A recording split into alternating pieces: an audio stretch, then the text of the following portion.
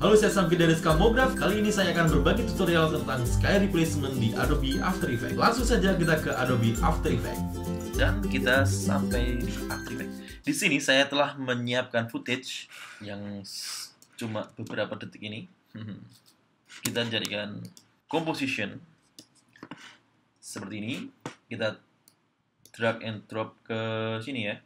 Create new composition. Oke. Dan langkah berikutnya adalah kita akan menduplicate footage-nya. Kita akan membuat cadangan file edit duplicate atau command D control D control D control D. Dan kita hidden uh, layer yang satunya. Dan kita pre-compose. Klik kanan pre-compose kita beri nama mid oke. Okay. dan kita double klik mid-nya layer mid kita double klik dan kita ke effect and preset. Kita ketik colorama. Kita drag and drop ke footage kita seperti ini. Dan kita pilih output cycle. Kita gunakan rem gray seperti ini lalu kita double klik kita pilih warna putih. Oke. Okay. dan kita double klik lagi. Kita pilih warna hitam. Seperti ini. Dan di sini kita akan mengekstrak langitnya menjadi seperti ini. Menjadi seperti baru. Oke kita fokusnya ke sini ya area gunung. Ya gunung-gunung tipis. Nah, kita tebalkan seperti ini.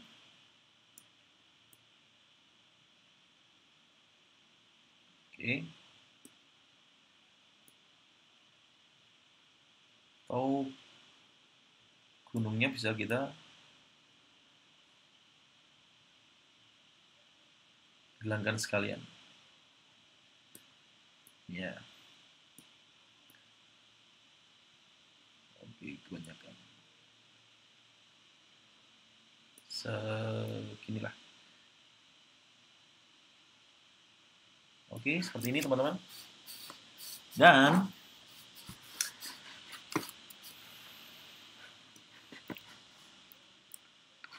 Di sini masalahnya adalah ini masih ada putih-putih.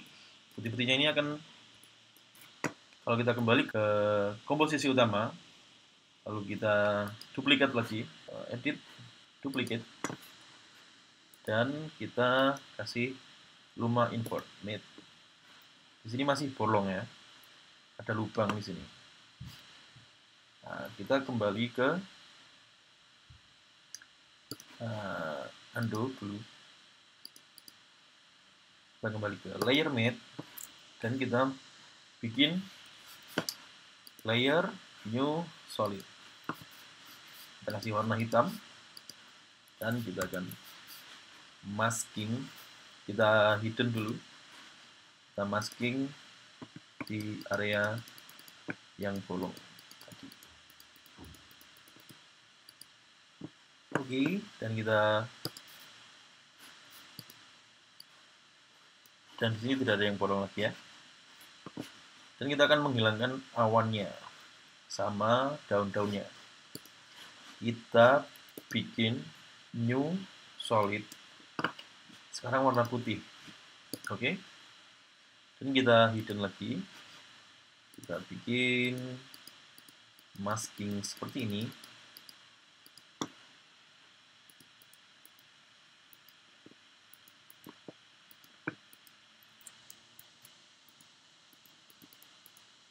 Oke.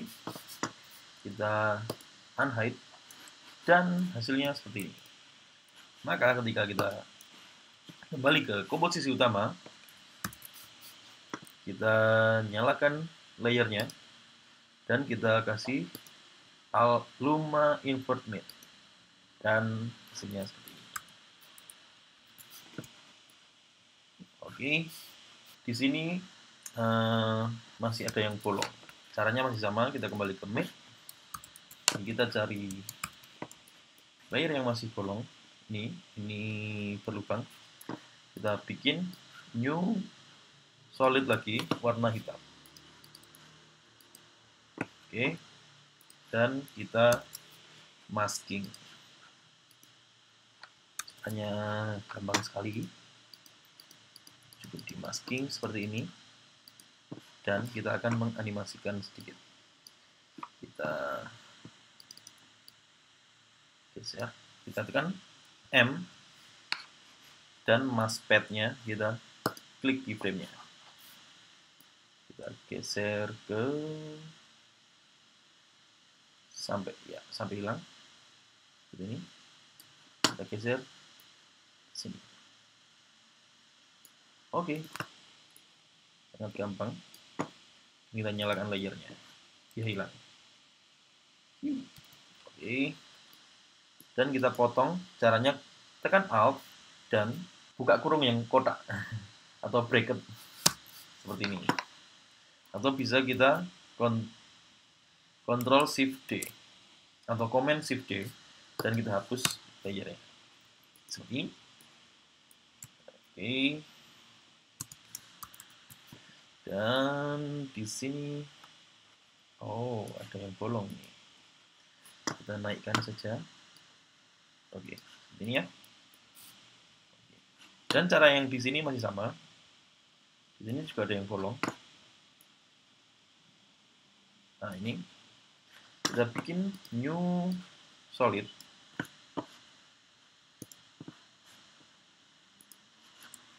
Prinsipnya adalah uh, objek yang akan kita hilangkan kita warnai dengan putih, warna putih. Dan yang akan kita pertahankan, kita warnai dengan warna hitam.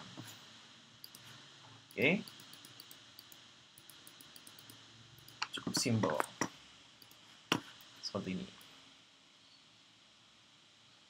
Oke. Okay. Dan hilang. Kita delete.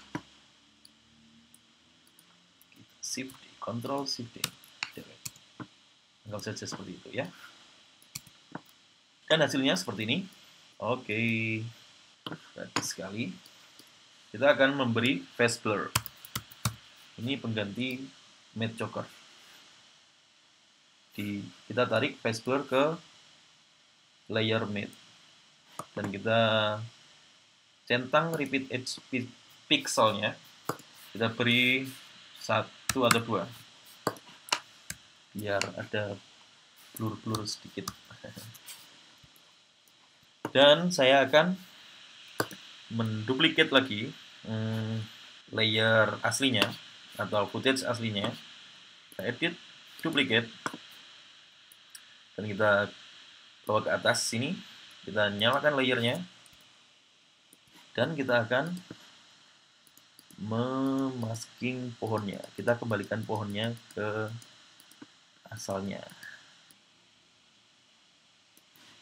Kita mm lalu mask feedernya kita naikkan seperti ini. Uri, pohonnya kembali. seperti itu kira-kira. Dan kita akan mengimport uh, footage langitnya sini saya menggunakan kita silakan cari di Google Image. Kita import.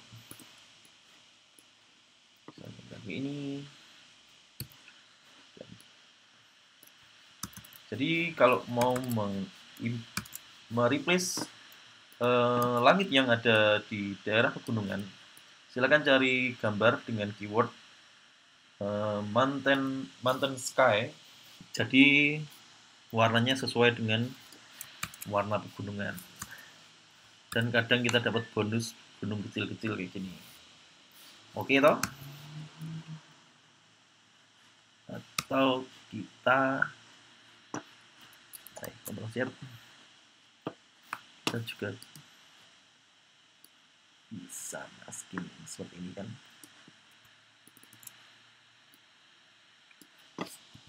mm filternya kita tekan eh naikkan. Dan kita ambil langit lagi satu. Dan hasilnya seperti ini. Oke kita skill up. Kita akan track.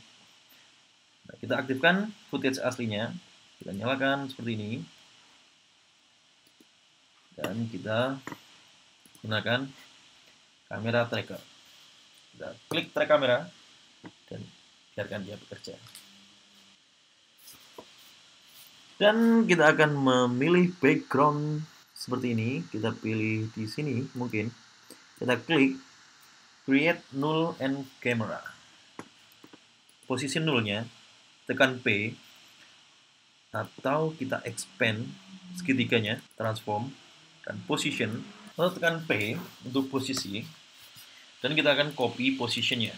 Dan Ctrl C atau edit copy dan kita akan paste ke awannya. Sebelumnya kita akan nonaktifkan lagi footage aslinya. Seperti ini. Dan kita aktifkan uh, awannya menjadi layer 3D seperti ini dan seperti ini. Lalu kita tekan P untuk posisi dan kita paste. Edit paste. Dan dia hilang. Kita sesuaikan lagi posisinya seperti ini. Dan kita scale. Kita tekan S. Skalanya kita turunkan lagi seperti ini. Dan kita tarik ke bawah lagi. Kita sesuaikan lagi posisinya kita turunkan lagi.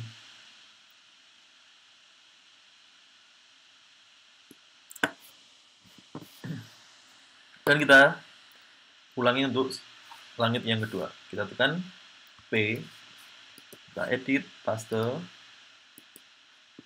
seperti ini dan kita tekan S kita turunkan skillnya dan kita atur posisinya. Oke ini teman-teman. Gampang kan?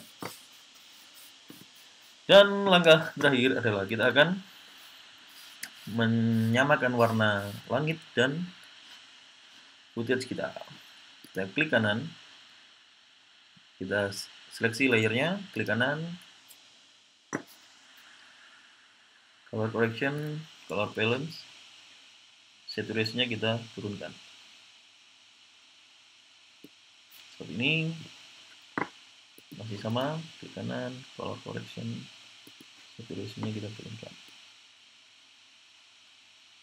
Oke. Okay. Ini teman-teman. Simbol bukan?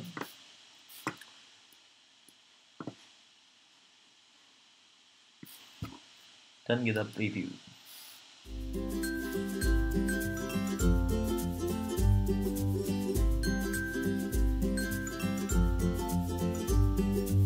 Dan hasilnya seperti ini, cukup gampang dan sederhana. Semoga tutorial ini bermanfaat. Sampai jumpa di tutorial berikutnya. Saya Samkit dari Skamograph. Dadah!